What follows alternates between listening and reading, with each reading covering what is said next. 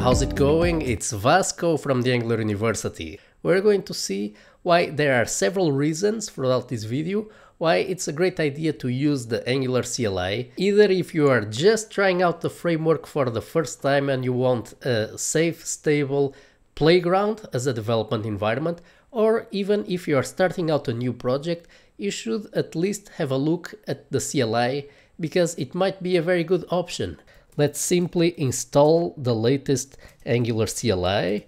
So the package that we need to install is called at angular slash CLI and if you are in Unix or Mac you might have to add a sudo at the beginning of the installation command. This will take a while but the installation will be completed so let's just now scaffold a project using ng new hello world so this will take a while, but a new Angular project will be scaffolded from scratch using the latest version of Angular. And after a while we have a new project completely scaffolded, so let's open it here. So you can see here, for example, the application module file of our application. So this contains all the modules that are imported into the project. So as we can see, everything is compliant to the latest version of Angular. Let's run the project. So here in the command line we need to cd into the folder and there we simply type ng-serve and this will start a development server. One of the advantages of this uh, development server is that it has hot reloading working. Let's see this in action. So after a while your development server is running, so if you go to localhost port 4200 let's do 4200 we have here a running hello world application. So this is running in development mode. So it's in just-in-time compilation mode. Let's take a look at the network tab. So if we refresh the application we can see that we only have about six requests and everything loads in about one second. So this gives a very good experience for development. We don't have a lot of HTTP requests. Now let's do a modification. Let's go to the application component.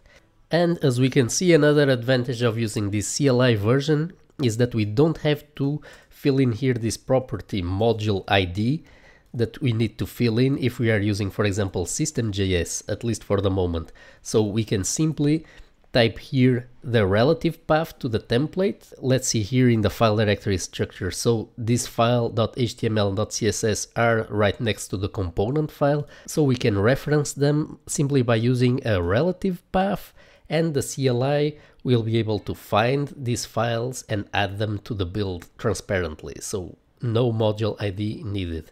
Let's now make a simple change to the template. Let's simply say angular hello world and we're going to see hot reloading in action. So if we save the file, that kicks in our build, it will rebuild the application bundle and it will trigger hot reloading. So we have here the new change applied automatically. The CLI is also very convenient for developing new components and services, so it takes away all the need for boilerplate. So if, for example, we create a new component, so ng g of generate, and then we generate a component, let's call it hello.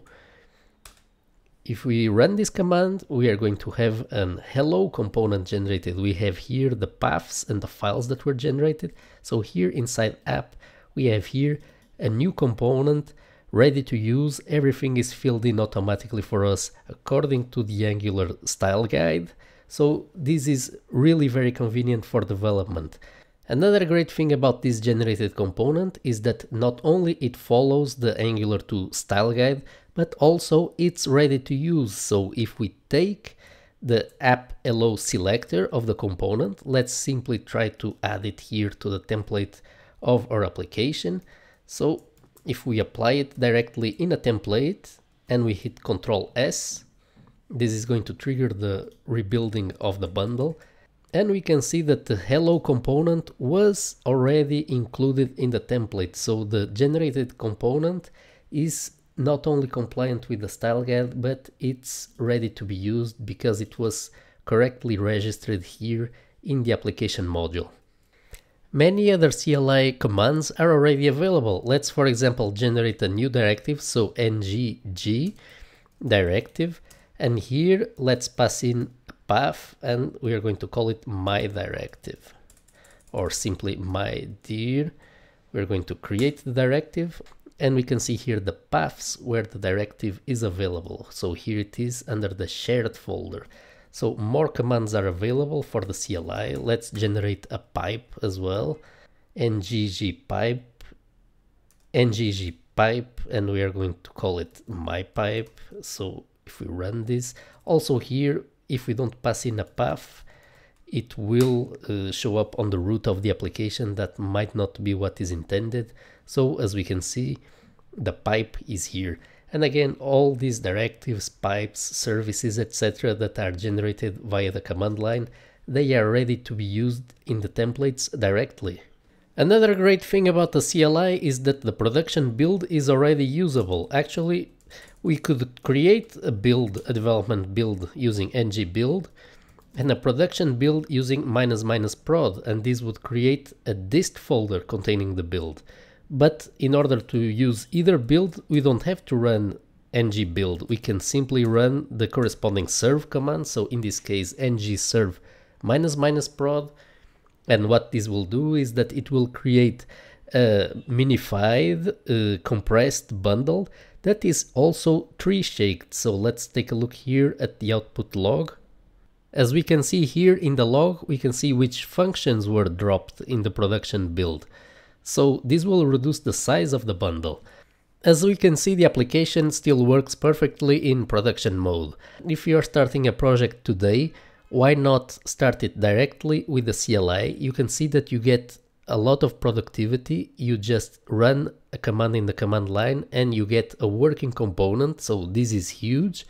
You have a great development experience with the hot reloading and in the near future it will be just a matter of updating the CLI and your build will still work, your application will still work. So in summary, the Angular CLI is really the ideal starting point for starting a new project with Angular.